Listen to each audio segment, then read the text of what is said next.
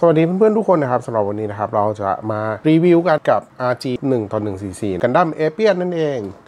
ก็กันดั้มเอเปียนนะครับ มาจากซีรีส์วิงกันดั้มนะครับ ในซีรีส์นี้ก็ออกมาหลายตัวนะสำหรับเกรด RG เนาะ ทั้งวิงกันดั้มทั้งทอลกีสอย่างนี้เป็นต้นนะครับ ตัวนี้เป็นเบอร์ 38 นะครับ ก็ถือว่าเป็นเบอร์ที่แบบท้ายๆแล้วนะ ก็ตอนนี้นะก็มี 41 ตัวเนาะที่แบบประกาศแล้วก็ออกมาอย่างเป็นทางการแล้ว ก็ตัวนี้เบอร์ 38 ครับ ซึ่งตัวนี้มันเป็นเบอร์แบบเบอร์ท้ายๆนะดังนั้น เราคาดหวังในเรื่องของเทคโนโลยีในการทำ Gunpla เนี่ยน่าจะไว้ใจค่อนข้างได้เลย แล้วจุดเด่นอีกตัวหนึ่งนะครับ ของตัวนี้เลยก็คือเรื่องของการแปลงร่างนะครับ ตัวนี้สามารถแปลงร่างเป็นมังกรสองหัวได้นะครับ ซึ่งคือว่าตัวนี้เป็นตัวที่แบบแปลงร่างได้ดีมาก ๆ เลย mechanic ในการแปลงร่างเนี่ยค่อนข้างโอเคเลยนะครับ ซึ่งผมลองแปลงร่างไปรอบหนึ่งนะครับ ก็คืออาจจะไม่ได้แปลงบ่อยนะก็ขี้เกียจต่อกลับนะครับ ไม่ค่อยมีเวลาเท่าไหร่นะ แต่ว่าการแปลงร่างเนี่ยค่อนข้างสมูทเลยนะครับ โอเค เรามารีวิวกันนะครับว่าเขาให้อะไรมาบ้างครับในกับตัวนี้นะ ก็กันดั้มนะครับแล้วก็มีปีกนะครับเป็นแพ็คหลังนะครับสองอันนะครับ ซึ่งปีกเนี่ยค่อนข้างขยับได้เยอะเลยนะครับ ลูกเล่นปีกเนี่ยเยอะนะ ข้างในครับมีปีกซ้อนอีกนะครับประมาณนี้ แล้วก็ในส่วนที่อาวุธนะครับที่ให้มานะครับ ก็จะมีเป็นดาบนะครับ ดาบนี่จะติดอยู่ด้านข้างนะผมติดเอาไว้นะแล้วก็เล่นกับเอฟเฟกนะครับสองส่วนด้วยกันก็คือเอฟเฟกของตัวนี้นะครับ ก็เป็นเอฟเฟกที่ค่อนข้างใหญ่เลยนะครับ แล้วก็ไอตัวเวลาที่ในตามเรื่องไหนเวลาที่เขาจะใช้ดาบใหญ่แบบเนี้ยจะมีตัวสายลวดแบบนี้นะครับ ซึ่งสายลวดตัวนี้นะครับก็เอามาเล่นกับเอฟเฟกตัวนี้เหมือนกันนะครับ ก็เหมือนกับว่าใช้พลังงานนะครับจากตัวนะครับ แล้วก็เชื่อมต่อออกมาที่ดาบนะครับ ก็สามารถเอามาเล่นกับดาบนะครับ ที่ติดด้านข้างตรงนี้ได้นะครับ ส่วนต่อมานะครับก็คือจะเป็นส่วนของโล่กับแส้นะครับ ตัวแส้ตัวนี้เป็นงานสำเร็จนะครับ ที่เขาทำมาไว้ให้นะครับ สามารถดัดได้นะ สามารถดัดได้หลายรูปแบบเลยนะครับ ก็ตัวชิ้นนี้นะครับ ผมว่าทำออกมาได้ดีมากๆเลยนะแล้วก็ไม่ต้องต่อเองด้วยนะครับ ตัวนี้เป็นงานสำเร็จที่เขาให้มานะ แล้วก็จะมีในส่วนของโล่นะครับ โล่ก็จะเป็นโล่เล็กๆนะครับ อยู่ด้านข้างนะครับ ก็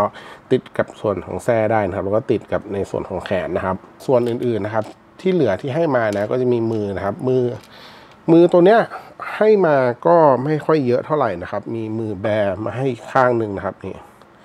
มือที่ไว้แบนะครับ แล้วก็มีมือกำอาวุธนะครับ มาให้อีกสองข้างนะครับนี่ตรงนี้ แล้วก็มีมือกำนะครับ มือกำก็จะติดตัวอยู่ตรงนี้นะครับสองข้างนะครับ ก็มือนะครับก็ให้มาทั้งหมด 5 ชิ้นด้วยกันนะครับ5ข้างนะครับ ใส่ไป2นะครับ แล้วก็เป็นอะไหล่อีก 3 นะครับและส่วนสุดท้ายนะครับที่ให้มาในกล่องเนี่ยก็จะเป็นตัวอะแดปเตอร์นะครับที่เอาไว้เชื่อมต่อกับเบสนะครับ ก็จะมี มาด้วยกัน 2 ชิ้นนะครับ ซึ่งชิ้นหนึงเนี่ยจะเอาไว้ใส่สำหรับตอนที่เป็นร่างหุ่นยนต์นะครับ แล้วก็อีกชิ้นส่วนหนึ่งนะครับ ก็เอาไว้ติดนะครับสำหรับร่างที่เป็นร่างมังกรนะครับ ก็ตัวนี้ให้เป็นตัวอะแดปเตอร์ Action Base 2อันด้วยกัน หมดแล้วครับในกล่องในกล่องให้มาแค่นี้เลยนะ แล้วก็จะมีอาจจะเป็นส่วนสติกเกอร์นะ ซึ่งผมไม่ได้ใช้นะครับนี่ก็เป็นสติกเกอร์ใสนะครับ ซึ่งตัวที่ผมติดอยู่ตรงนี้เป็นตัวดีแคลน้ำนะครับที่ผมซื้อแยกต่างหากนะครับ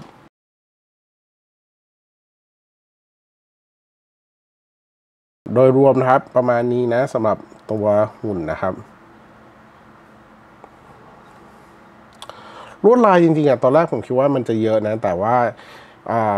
ตอนที่ติดดีแคลจริงๆอะถ้าติดตามคู่มืออะถือว่าไม่เยอะเท่าไหร่นะครับ ใช้เวลาไม่ได้นานนะ ตัวดีแคลที่ติดเยอะจริงๆเนี่ยส่วนใหญ่แล้วก็เป็นในส่วนของช่วงปีกนะ ช่วงที่ติดยากๆหน่อยเนี่ยอาจจะเป็นอ่าชิ้นส่วนที่เป็นยาวๆนะครับ ตรงขอบปีกตรงเนี้ยอ่าตรงขาวๆนะครับ ตรงขอบปีก ไอ้ติดยากหน่อยนะ แต่ว่าการติดตัวส่วนอื่นๆเนี่ยไม่ค่อยยากเท่าไหร่นะครับ แล้วก็ไม่ได้ค่อยมีเยอะเท่าไหร่นะครับ มาดูกันที่ balance กันบ้างนะครับสำหรับ balance ของตัวนี้ก็ต้องบอกว่าอ่าจริงๆแล้วมันถือว่าเป็นตัวนะครับที่มีแพ็คหลังเนี่ยที่ค่อนข้างใหญ่นะ แต่ทั้งนี้นะครับด้วยความที่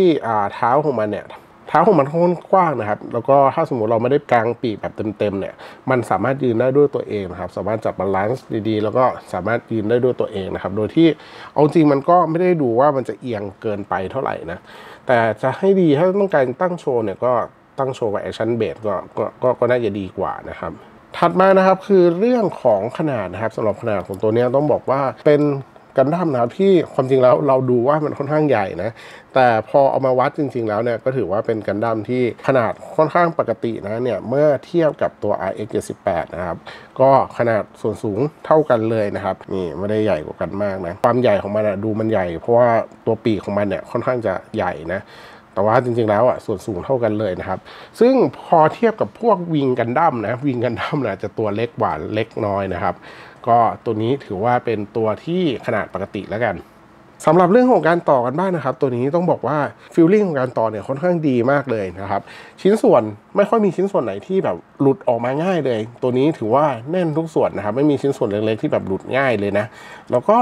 ส่วนที่ผมชอบนะก็คือเรื่องของแมคานิกของการต่อนะคือผมต่อ MGSD ผมเคยอวยตัว MGSD ไปแล้วนะว่า MGSD เนี่ยมันเต็มไปด้วยเทคโนโลยีกันดั้มแบบใหม่ๆ ที่ผมคิดว่าเป็นตัวที่มันดีมากๆอะซึ่งผมเพิ่งรู้นะครับว่าตัวนี้มันมีหมดเลย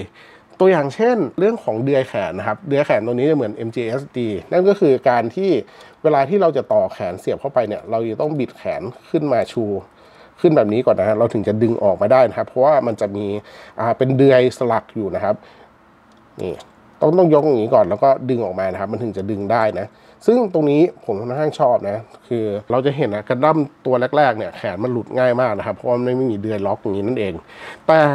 ต้องบอกก่อนว่าเดือยล็อกพวกเนี้ยมันมีข้อเสียนะก็คืออถ้าสมมุติคนที่เล่นเนี่ยแล้วไม่รู้แมคานิกของเรื่องของเดือยล็อกอะไรพวกเนี้ยแล้วคุณไปฝืนแรง ดึงออกมานะครับเวลาที่จะประกอบร่างก็ช่าง หรือว่าเวลาที่จะ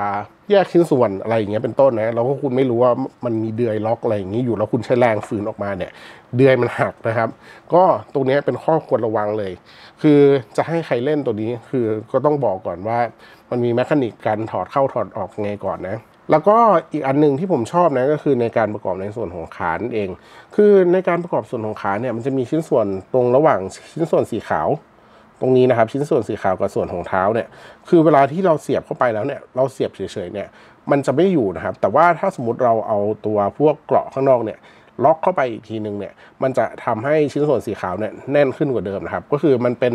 มันเป็นลักษณะของเดือยล็อกครับแบบมี 2 ชิ้นส่วนมาต่อกันนี้ใช่ไหมแล้วก็มันจะมีเดือยล็อกอีกอันหนึ่งครอบเข้าไปครับคือถ้าเราไม่ครอบไอ้ตัวเนี้ยมันก็จะหลุดออกง่ายนะครับ แล้วก็ไอ้ตัวที่ครอบเนี่ยมันก็เป็นตัวเดือยล็อกนะครับให้ชิ้นส่วนสองอันนี้ติดกันนะครับ ก็ถือว่าเป็นเทคโนโลยีที่ไม่มีใน RG ตัวแรกๆนะครับ แล้วก็มีอยู่ในตัวนี้นั่นเอง ซึ่งผมค่อนข้างชอบเลย อีกนิดนึงก็คือเรื่องของการที่มีดวยล็อกตรงแขนอะไรพวกนี้มันทำให้เวลาที่การแปลงร่างเนี่ยชิ้นส่วนมันไม่ค่อยหลุดนะครับ สรุปนะครับสำหรับตัวนี้นะครับก็ต้องบอกก่อนว่าเป็นกันดั้ม RG นะครับที่เอาจริงๆแล้วผมก็ไม่ได้แฟนของเอเปียนเท่าไหร่นะแล้วก็ไม่ใช่แฟนของซีรีส์วิงกันดั้มเท่าไหร่นะแต่ว่า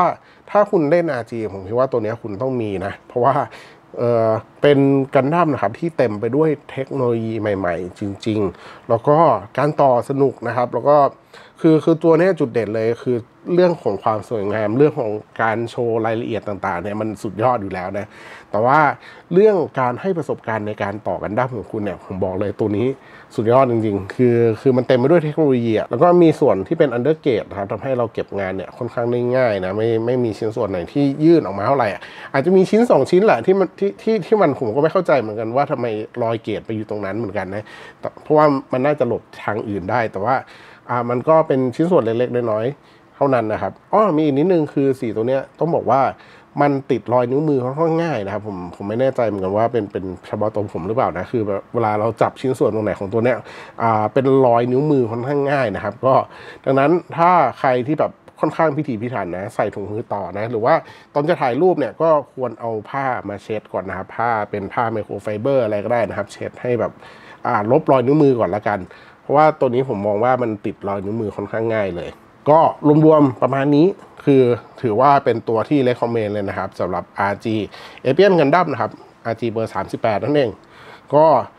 ยังไงถ้าคุณถูกใจรีวิวผมนะ ก็ช่วยกดไลค์กดแชร์กด subscribe channel ผมด้วยครับ ผมก็มีคอนเทนต์ดีๆอย่างพูดคุยกับคุณเรื่อยๆครับ กดกระดิ่งแจ้งเตือนไม่พลาดคอนเทนต์ใหม่ๆครับ แล้วก็พบกันใหม่ในคลิปหน้าครับ สวัสดีครับ